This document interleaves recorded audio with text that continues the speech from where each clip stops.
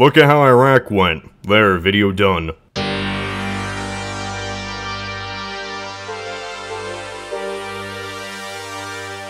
You know, I'm just a guy with a channel, but that channel is about theorizing. Usually that's about past events, but this time, I'm going to theorize about how a possible future event might go. An invasion of Iran. Can you put that in the form of a question? Uh, what if that thing I said? Now, it's not likely it will happen, ever, I hope. Please don't jinx it. But if it does, or seems really likely because of America's current alliances with certain nations, this video is a handy last second guide for, uh, anyone in charge, why invading Iran is a really, really bad idea.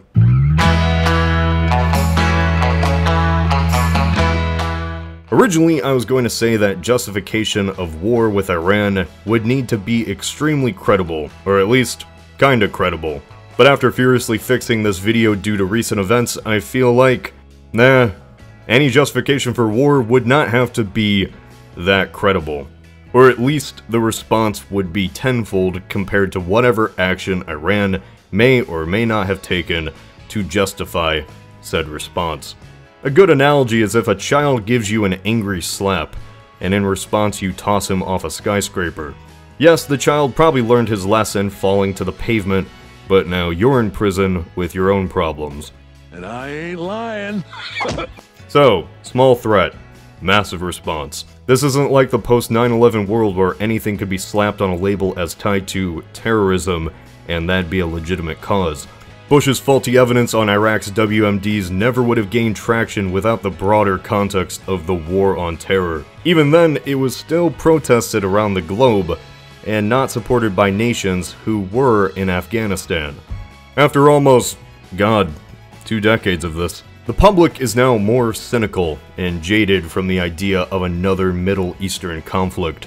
According to Gallup polls, don't take these as gospel, but they help prove a point. An invasion of Iran is overwhelmingly disapproved by the public, 82% as of 2019. So the backlash to any involvement in Iran would be larger than any protest of Iraq, or even the ones of the last few years. It'd be an overwhelming, resounding Yes?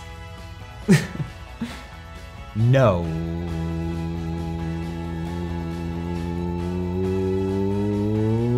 But you know, protests didn't work in Iraq, I doubt protests work for Iran, so off to war we go. Yippee, what now? The United States is uncontested on the seas. Many assume that this part of the invasion, just entering the strait and blocking in the Iranians, would be simple. What could Iran do? This is where I want to introduce you to Millennium Challenge 2002. In 2002, the US military conducted a military exercise, the most expensive of its kind. It was to see how the US could successfully conduct a war against an unrelated Middle Eastern nation to see how well it would perform. It was Iran. It was a test for a war against Iran. There was the blue team, America, and the red team, Iran. For the red team, the chosen commander was retired Lieutenant General Paul Van Riper. At his disposal was only equipment that Iran would have small speedboats, low flying planes, short range missiles, the whole shebang. So the exercise began. Van Riper, knowing that the US Navy would immediately sail too close, began to attack first. He sent off his suicide bombing boats. They'd give coordinates to where the US ships were and relay it back to the missiles. Then the ships would run straight into the US cruisers, detonating. In the first phase of the exercise, 19 ships, including three aircraft carriers, were sunk. Estimates for the total US casualties this would have brought was 20,000.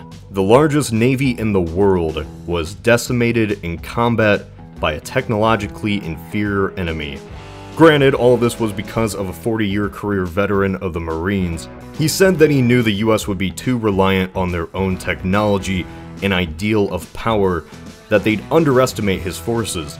The US hoped the Red Team would have used satellite or radio to relay orders, yet instead he used motorcycle carriers. So what did the US do in response to this news? Simple, they just rigged it. The Red Team was not allowed to use suicide boats, nor would they be allowed to shoot down planes using radar. The exercise was meant to show the Blue forces winning overwhelmingly, The US learned nothing, is what I'm saying. So would a war with Iran lead to an immediate 20,000 dead? No. I doubt Iran's generals would be as efficient as he was, however, they don't have to be as efficient. They just have to follow the same strategy, and it could produce similar results.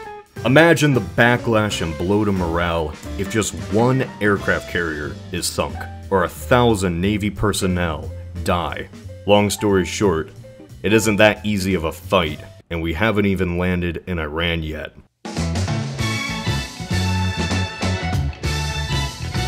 So let's talk about the initial invasion. Iran is not Afghanistan or Iraq. Afghanistan has a mountainous terrain, but its central government at the time, the Taliban, was nothing more than just a militia force. Iraq, while it did have a sizable military, had only 40% of the million troops they once had a decade earlier. Most of them were poorly trained. Not to mention the nation itself is flat desert connected by highways, allowing coalition troops to easily invade from north and south right into Baghdad. Both operations took around a month, resulted in minimum American casualties, and took down the governments with ease. Iran would not be this. Iran has double the military Iraq did in 2003, and they were better trained, equipped, and commanded.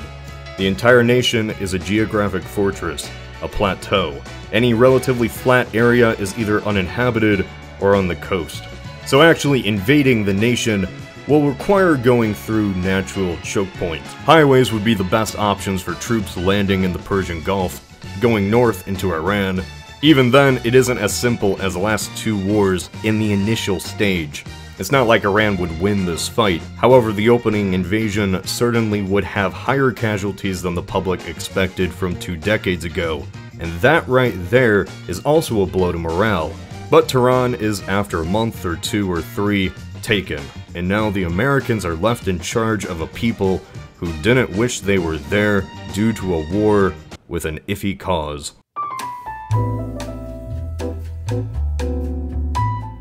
Iran has major issues. It's a theocracy. It forces women to wear head veils, promotes radical extremism. Yeah, its government is horrible. But no matter how a people feel about a government, there is nothing more uniting to them than a foreign power invading their land. Which is why I find the idea that any real human could think doing the same invasion slash nation building tactic would work the third time, but maybe it isn't supposed to work. Maybe it's just supposed to depose a rival for others who can't directly do it themselves no matter the outcome, but that's just my guess. Iran right off the bat has a population larger than Afghanistan and Iraq combined. An insurgency in Iran would be worse than any we faced before in the War on Terror. It's less Iraq and more Vietnam. Now it could be easily made worse if the US decided to disband the military like they did last time, leading to an influx of military-grade equipment going into the hands of now unpaid men trained for combat. Not to mention the demographic problem, 40% of Iran's population are not Persian, so various people like Kurds, Azeris, Lurs, Arabs, or Balochs may or may not get along once that central government breaks down. Oh, and the 8% who are Sunni, who certainly in no way would be influenced to break away from the Shia Iranian state by any outside influences. Ethnic cohabitation has been a problem that Tehran has needed to deal with, well, since the idea of an Iranian nation state has existed. And while I don't know if these ethnic groups will break off or fight amongst each other, I do know that this is not a situation you want a foreign Western power to deal with. Now getting past the rough invasion, the difficult terrain, the angered, fractured, large population, and an insurgency, the politics come in.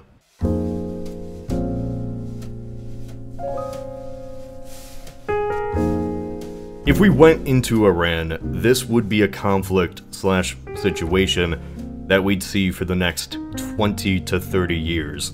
It would break the Iranian state and be tore up from the outside by neighboring powers who each want a chunk. The Sauds would now have an opportunity to export their own brand of Islam against the Shias, spreading Wahhabism by money or by blood into the nation. Russia could export arms to keep the Americans busy against insurgents.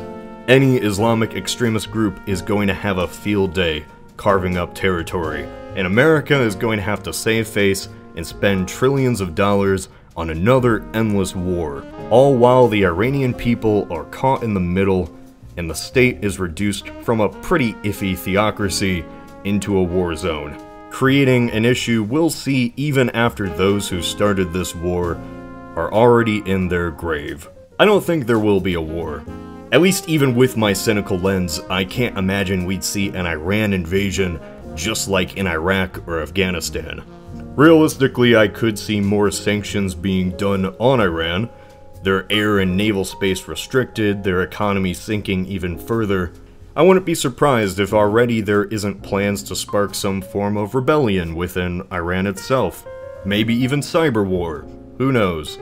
The thing about interesting times is that they could always be more interesting. How many times it would take for governments to realize this type of strategy doesn't work is for our descendants to find out. This is Cody of Alternate History Hub.